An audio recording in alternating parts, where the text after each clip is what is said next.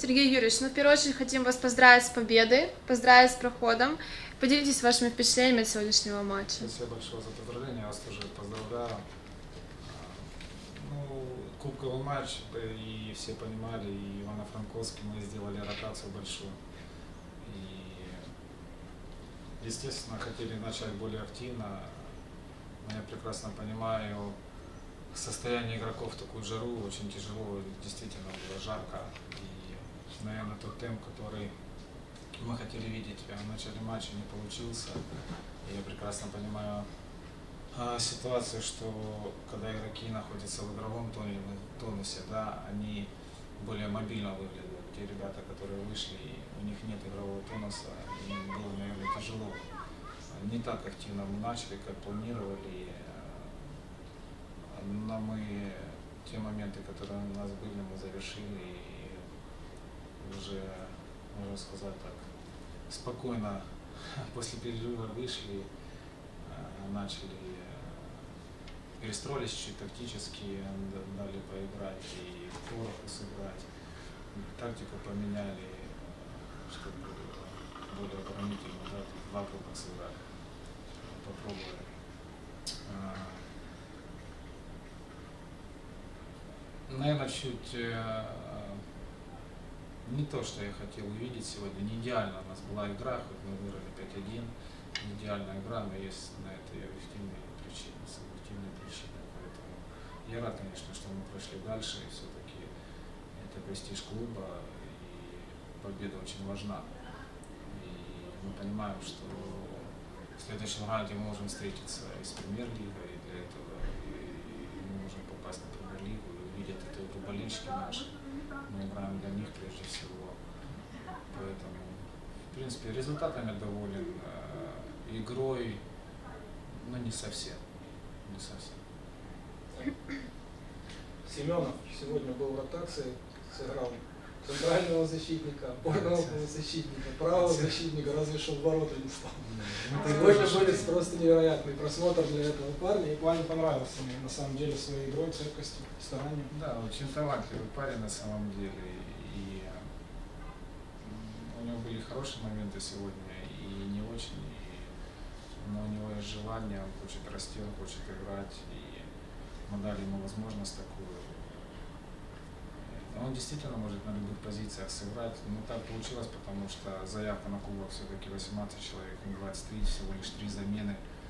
И просто так получилось, что нам надо было и Рому Попова поберечь, и э, Богдана Кочневенко, потому что есть у них проблемы чуть-чуть, поэтому мы все-таки сделали, начали делать такую что ротацию его, чтобы и на той позиции, и на том. Ничего, я считаю, универсализм игроков должен быть определенных моментах, поэтому это нормально. Игорь Семенина, ну, мы понимаем уровень этого футболиста и какой может отдать пас, как может забить, ну, очень умный футболист. Э, Его позиция в команде, ну вот сегодня он играл с первых, но это вообще используете как джокер. Э, Это потому, что на его позиции нужно дорабатывать еще и оборону сильнее.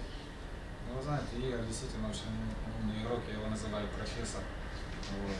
И такие игроки нужны в ком- в команде.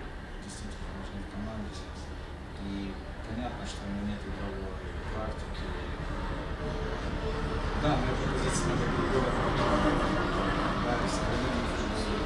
На его позиции это подразумевает, что ты поставящие передачи давать и вести игру, он это умеет. Но